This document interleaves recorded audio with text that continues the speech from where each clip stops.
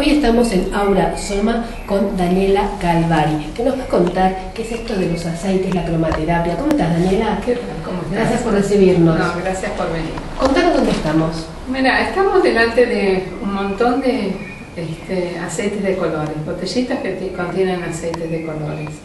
Eh, este sistema se llama Aurasoma, que es un sistema de sanación por el color. Pero no solamente por el color, sino también porque contiene todos los elementos de la fitoterapia, de la cromoterapia, de la gemoterapia, de la aromaterapia, de- todo en un, en un mismo sistema. Y esto fue desarrollado en Inglaterra por Vicky Wall. Eh, yo hace unos años eh, lo he traído desde allá, este, este sistema, como 15 años ya que estamos en Bastante. la Argentina, un poco más incluso desde el año 90 y 92, 93. Y bueno, dando cursos y haciendo terapias durante todo este tiempo. La gente, yo por lo que sé, la gente viene y elige cuatro frascos.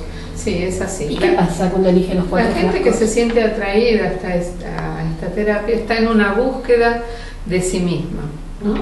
y de, de- de- de un cierto crecimiento, de una evolución. Entonces viene, elige los cuatro frascos y cada frasco simboliza otra cosa. Ah, Eh, uno elige desde un lugar, eh, desde el supraconsciente, no desde la conciencia, porque cuando nosotros estamos delante de todos estos colores, muchas veces tenemos tan introyectado desde nuestra infancia que a lo mejor nos decían, mira, azul y verde, no, esto no lo uses nunca. Claro. ¿No te acordás de Sí. cuando nuestras madres decían eso? Y acá frente a todos estos colores, la mente consciente no puede cata- catalogar. Entonces uno elige desde un lugar supraconsciente. claro. Y es desde un lugar donde sabemos quiénes somos. Es decir, que nadie nos tiene que venir a decir, mira, elegí este color o elegí el otro es mejor. Acá es lo que nos llama a nosotros. ¿no? Es decir, nos dejamos elegir. Ah, cuatro está, está- está interesante. Y bueno, en diferencia a otras terapias, Claro. donde uno va y tiene que hablar y hablar y hablar y, y- y esperando que el otro te, te diga quién sos. Claro, acá no, acá ya Acá no, acá partimos desde la base de que vos sabés quién sos. Ajá. Después que elijo los cuatro frasquitos con los cuatro colores, ¿qué es lo que sucede? Bueno, después de los cuatro frasquitos, yo hago la interpretación de lo que vos elegiste del- a través del lenguaje del color. Te, te doy toda la explicación, donde el primer frasco simbolizaría que cómo vos te reconoces a nivel del alma y de la personalidad en este momento donde estás eligiendo. Sí. Y también tus potenciales. ¿Qué, qué, qué- qué viniste a hacer? ¿Sí? Claro. A esta, a esta vida. Claro. La segunda botella serían los obstáculos, siempre a nivel consciente, que es la parte superior, y a nivel inconsciente, la parte inferior. Ah, ¿sí? Entonces, si tenemos en cuenta la botella, podemos decir que es la parte que tenemos consciente, la que tenemos inconsciente, incluso a nivel físico, lo que es para arriba y lo que es para abajo. mira, ¿sí? Entonces teníamos que la segunda botella es el obstáculo. Sí. Detrás de cada obstáculo que tenemos en la vida siempre hay un desafío. Y detrás de ese desafío está toda la riqueza que de lo que vinimos a aprender Claro. cuando aprendemos la lección. claro. Y la tercera botella sería quién somos aquí ahora. ¿qué, qué es lo que incorporamos hasta Ah. ahora de nuestro aprendizaje? ¿Estamos trabajando con nuestro potencial? ¿Estamos trabajando con nuestro obstáculo? También a nivel consciente e inconsciente. Y la cuarta es hacia donde sabemos que vamos. Sí, ¿sí? No es adivinatorio esto, No, no. es muy desde el color.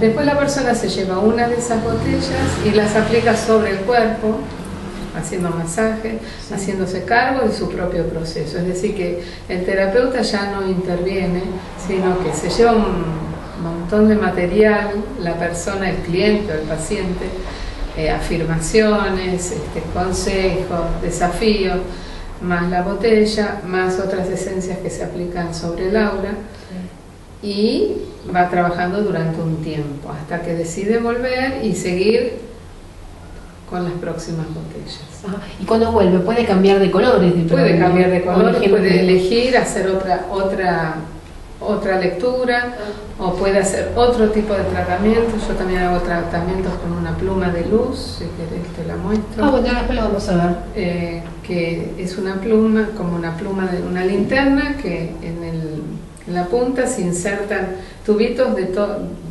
están todos los colores y se trabajan sobre los meridianos, sobre los chakras, sobre los puntos de acupuntura.